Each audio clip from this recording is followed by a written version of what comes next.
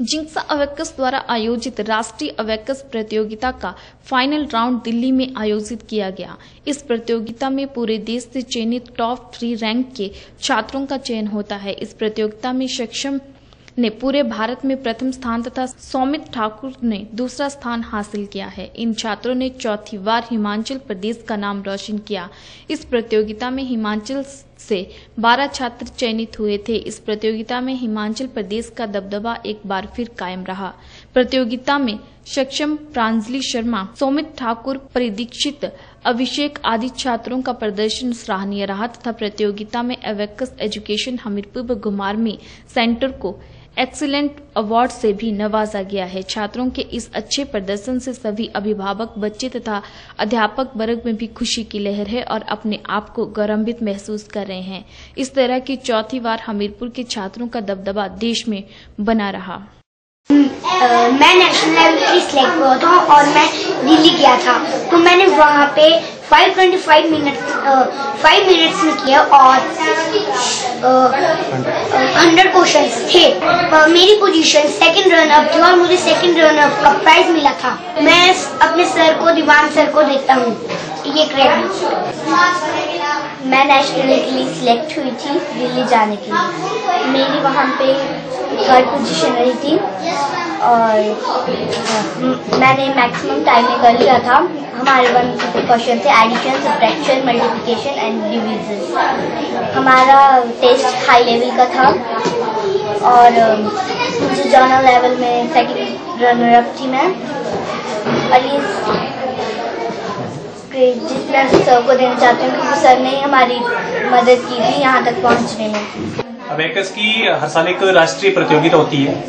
ये four Jones में होती है पहले।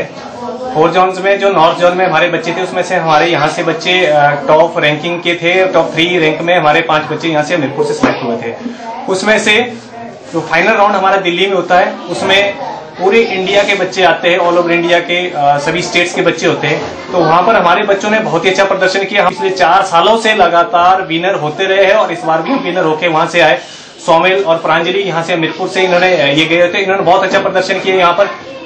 सोमिल ने हंड्रेड क्वेश्चन जो एडिशन सब्ट्रैक्शन के होते हैं। उसने पाँच मिनट में कर दिए। प्रांजलि ने within time ten minutes में ही अपना addition subtraction multiplication even division उसमें बहुत हाई लेवल के क्वेश्चंस होते हैं। एक नॉर्मल बच्चा जो अब एक्स नहीं सीखता, वो उस चीज़ को करे, वो डेढ़ घंटे में कम से कम कर लेगा। हमारे बच्चे उसको दस मिनट में ही कर पाते हैं।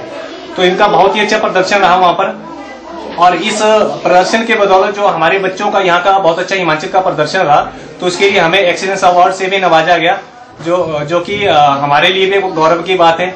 और जो अभिभावक है, अभिभावकों के लिए भी मैं धन्यवादी कहूँगा, जो अपने बच्चों के लिए यहाँ पर अपना समय देकर यहाँ पर भेज रहे हैं। और मैं ये भी चाहूँगा कि एक बहुत अच्छी कला है, जिसमें ब्रेन डिवेलप होता है, हमारा जो लेफ़्ट एंड राइट पार्ट होता है, वो एक्टिव होता है तो इसमें बहुत फास्ट बच्चा कैलकुलेशन कर लेता विद इन सेकेंड अगर कोई मल्टीप्लाई में कहूँ, या कोई टेबल की बात करूँ, मैं, हमारे बच्चे टेन थाउज़ेंड तक टेबल बोल लेते हैं मल्टीप्लाई विद इन सेकेंड ये कर लेते हैं। तो इसके लिए सभी बच्चों को मैं बधाई देता हूँ, अपने स्टाफ को बधाई देता हूँ, जिन्होंने बहुत अच्छा योगदान रहा उन सभी का, उन्होंने प्रैक्टिस करने के लिए बच्चों का समय दिया। और बच्चों ने भी बहुत मेहनत की, दिल्ली तक एक नेशनल लेवल तक जाना बहुत बड़ी बात होती है। और हमारे हम हिमाचल प्रदेश के जितने भी बच्चे गए थे उनका बहुत ही अच्छा प्रदर्शन रहा था।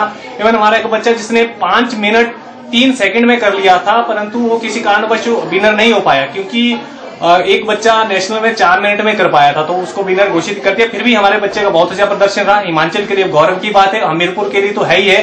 तो मैं फिर एक बार सभी बच्चों को बधाई देता हूँ, जो कि विनर रहे इसमें। जो बच्चे वहाँ पर गए थे, जिनका अच्छा प्रदर्शन रहा, उनको भी बधाई, उनके अभिभावक को भी बधाई, जिन्होंने हमारा बहुत सहयोग किया।